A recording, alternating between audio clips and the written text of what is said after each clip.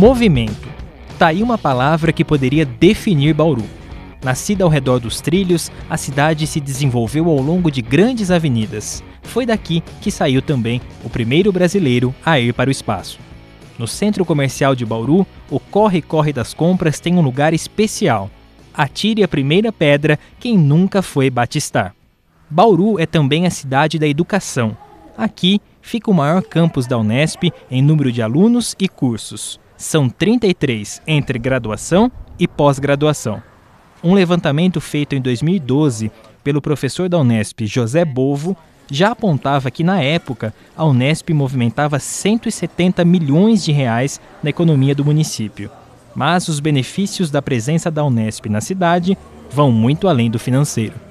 Há 29 anos, a Unesp participa da história de Bauru, desenvolvendo educação, pesquisa e colaborando na melhoria de vida da comunidade. Os mais de 7 mil estudantes atendidos atualmente pela universidade vão deixar aqui um pouquinho de si e de sua formação, uma espécie de legado, um retorno por tudo que aprenderam. O projeto Ao Vivo em Cores é um bom exemplo. A iniciativa veio há cinco anos dos alunos dos cursos de engenharia. Desde então, 80 voluntários revitalizam escolas e asilos com pintura, construção de parques e jardins. O Vivo em Cores surgiu em 2012, durante a Semana da Engenharia, principalmente com o propósito de retornar o investimento que o governo faz nos estudantes aqui na Universidade Pública para a sociedade, para a comunidade de Bauru. A Unesp também transforma a realidade de Bauru pela educação.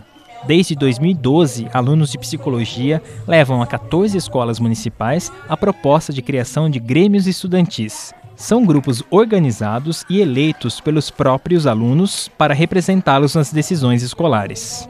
A ideia geral do projeto é formar o protagonismo infantil, juvenil, a participação política na escola, ampliar a participação das crianças na escola. Né? A gente vai trabalhando com uma grande ideia que é a educação para a democracia, a educação democrática. Né? A gente fala muito que o povo brasileiro não sabe participar, mas quais são os espaços em que existe essa aprendizagem da participação? Né? Outra contribuição da Unesp nessa área entrou em vigor neste ano. O currículo base utilizado pelas escolas municipais foi revisado e adaptado em um trabalho conjunto entre professores da universidade e da rede pública. A gente tem trabalhado com a implementação do currículo. Acho que esse é o maior desafio, pensar como será a formação dos professores para atuar com base nesse currículo. Né? O currículo está disponível no site da, da Secretaria Municipal de Educação e é fruto mesmo dessa parceria, né? do conhecimento que a universidade tem a serviço do Sistema Municipal de Educação e, ao mesmo tempo, o chão da escola fomentando uma análise curricular. Né? Se por um lado é um polo educacional, por outro, Bauru ainda sofre para se proteger das chuvas de verão. Para minimizar os danos das tempestades, tem o IPMET como aliado. A previsão de curtíssimo prazo feita pelo Instituto da Unesp mobiliza os órgãos de defesa. A gente tem um, um grupo né, que é com a chegada da, te da tecnologia, através do WhatsApp, onde está envolvida a Defesa Civil, a Prefeitura, a Grupo de Operações de Trânsito, Endurb. Então, sempre quando chega algum evento desse, a gente pode estar emitindo um alerta que vai instantaneamente para todos esses órgãos para que possam tomar as eh, medidas cabíveis o mais rápido possível. Mas da força da natureza vem também o bambu, matéria-prima do projeto da Unesp que começou na década de 1990. Há sete anos, a ideia saiu da universidade em direção ao Horto Aimorés.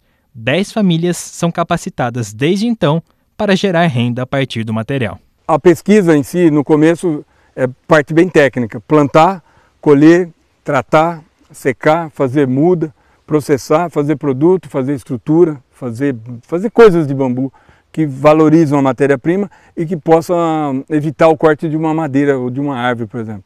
Com o tempo, a gente percebeu que isso aí deveria ser levado para fora da universidade, principalmente para a agricultura familiar, né? para quem trabalha na terra. Então, esse projeto, nós criamos dois projetos de extensão, um para trabalhar direto com o assentamento Horto de Morés e outro chamado Taquara, que é envolvido por alunos, para divulgar mais a cultura, para fazer produto também, para trabalhar com escolas, para fomentar o interesse na, na, na, sociedade, em outras comunidades, nas pessoas, nos alunos, nas crianças. Então essa é a ideia do, do projeto. Esses são apenas alguns exemplos da parceria entre a Unesp e a população bauruense. Juntos, professores, alunos e comunidade colhem os frutos dessa interação que movimenta Bauru. A universidade pública, mantida com dinheiro público, ela tem que dar um retorno para a educação pública, né, para os outros âmbitos da vida social.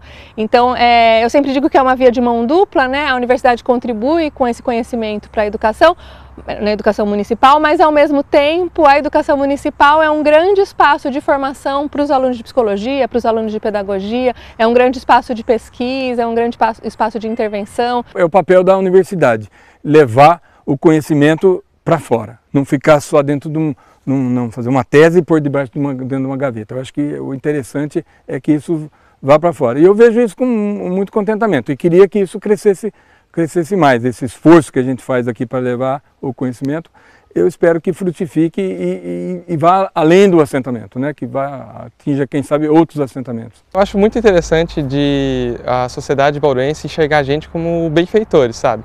E a gente quer muito melhorar Bauru, porque a gente está aqui, a gente é da cidade, embora muitos são de fora, a gente entra aqui com o propósito de ser cidadão mesmo.